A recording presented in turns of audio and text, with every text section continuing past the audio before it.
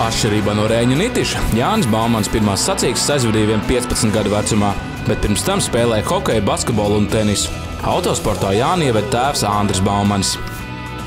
Nu, uz sacensībām man viņš ir Andris, bet uh, kā menedžeris, kā atbalstītājs un vēl kā, kā, kā, kā, kā pasniedzējs. Jo viņš 20 gadus pašam ir pieredze rallijā, un viņš arī redz, kurā vietā, kurā vietā var nomest laiku un kurā vietā būt ātrāks. Pāri bremzējies, divreiz bremzē. Vien, viens aplis bija labs. Neviens aplis nebija labs. Nu, viens aplis bija labāks.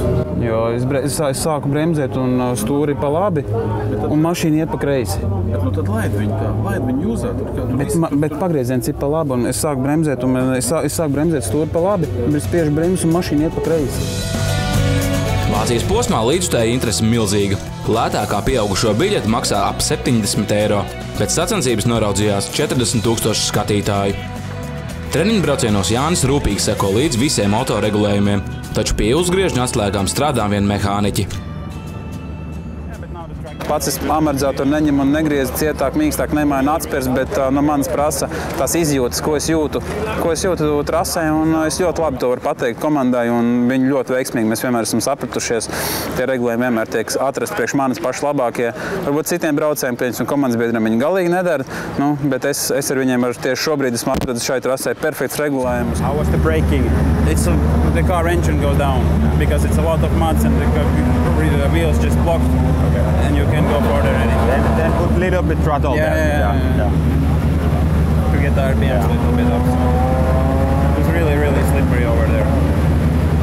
Because it, it, from eye it so seems that you were really slow in the uh, On the tarmac section yeah, there. yeah.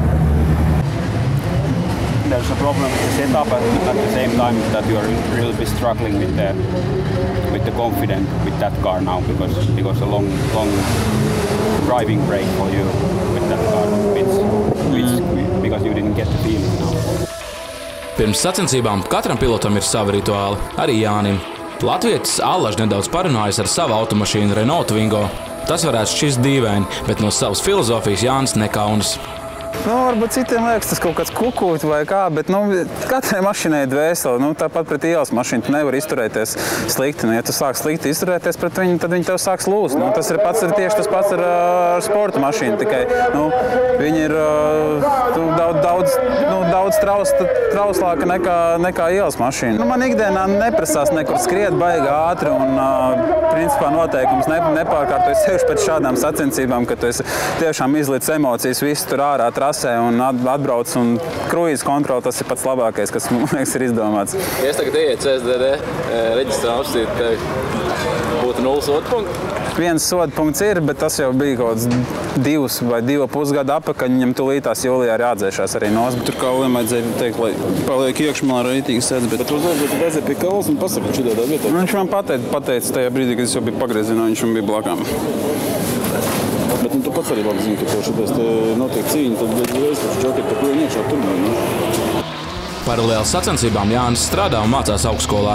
Aizņemtība tieši palīdzot neuztraukties par dažādām mazsvarīgām lietām. Jānim mazais mērķis ir uzvarēt savā klasē, bet Baumaņa ģimene jau klauvē arī pie superkāra autodurvīm. Jānis šo sezonu prestižākajā klasē aizvadīs vairākus posmus.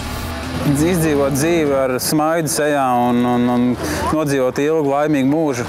Radīt bērnus, kas nā, nākotnē arī varētu kļūt varbūt, par pasaules čempioniem, jebkurā sporta veidā. Tas noteikti nav rallija, hokejs, basketbols. Varbūt. Nu, tas, ir, tas, tas īsti neinteresē, bet nu, lai arī man bērni ir laimīgi. Man liekas, tas ir arī ko mans tēvs grib, lai es esmu laimīgs, lai mūsu ģimene visi ir laimīgi. Un es domāju, tas ļoti labi sanāk, jo mēs visi pēc sacensībām, nu, viņas labākas, sliktākas, nu, lielākoties mēs visi pasmaidām, nu, esam iemācījušies daudzas jaunas lietas arī šoreiz.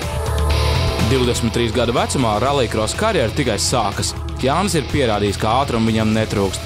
Atliek to tikai saglabāt un Latvijai izcīnīt kārtējo Eiropas čempionu titulu.